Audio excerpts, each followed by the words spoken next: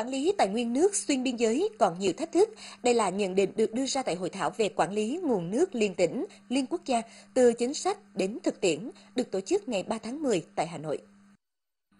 Theo thống kê, hiện nay có khoảng 150 quốc gia đang cùng nhau chia sẻ và sử dụng chung các nguồn nước để phục vụ nhu cầu đời sống kinh tế và phát triển. Hơn 40% dân số thế giới hiện đang sống tại các khu vực xuyên biên giới. Những khu vực này đang phải chịu áp lực lớn về nước do mức độ gia tăng dân số và phát triển kinh tế quá nhanh. Biến đổi khí hậu làm cho dòng chảy trở nên bất thường và gia tăng các hiện tượng cực đoan như lũ và hạn. Do vậy, để khai thác và sử dụng hợp lý tài nguyên nước, cần có sự hợp tác chia sẻ giữa các nước trong cùng lưu vực. Tuy nhiên, việc hợp tác quản lý tài nguyên nước xuyên biên giới còn nhiều thách thức. Về chữ lượng khai thác ở đây thì của đồng bằng à, sông Cửu Long thì được đánh giá à, về tiềm năng ấy, là tương đối phong phú. Tuy nhiên à, dưới tác động của các cái biến đổi khí hậu cũng như đặc biệt trong thời gian vừa qua là cái việc khai thác sử dụng nguồn nước từ các quốc gia ở thượng nguồn cho nên trong những cái năm gần đây mặc dù là với cái chữ lượng mà khai thác mới chỉ khoảng 1 phần 3 so với tiềm năng thôi đấy, nhưng mà do ảnh hưởng như vậy đã bị à, suy giảm nghiêm trọng đặc biệt là trong những cái tháng mùa khô cao điểm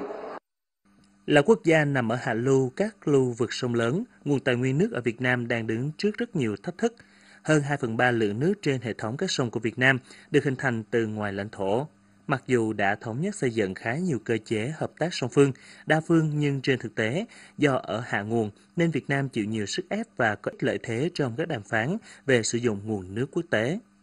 Ờ, Việt Nam trong thời gian vừa qua cũng là một thành viên rất tích cực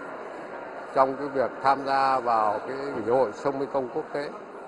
và cũng là thành viên tích cực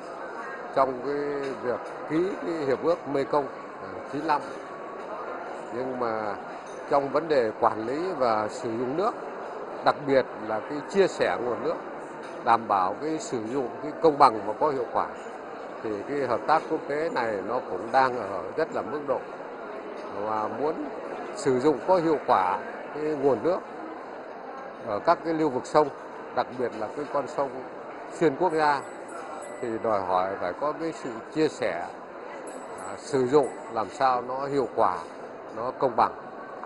Các đại biểu cho rằng phương tiện hiệu quả nhất chính là các hiệp định song phương và đa phương giữa các quốc gia có chung nguồn nước. Các hiệp định này tạo nên điều kiện thuận lợi trong hợp tác quản lý nguồn nước, bao gồm cơ chế giải quyết tranh chấp giữa các bên liên quan.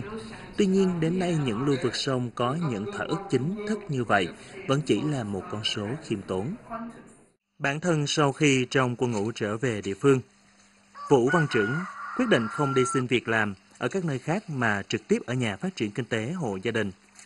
Với diện tích 2,2 hecta cà phê cằn cỗi, trưởng mạnh dạng phá bỏ để tái canh cà phê cho năng suất cao hơn.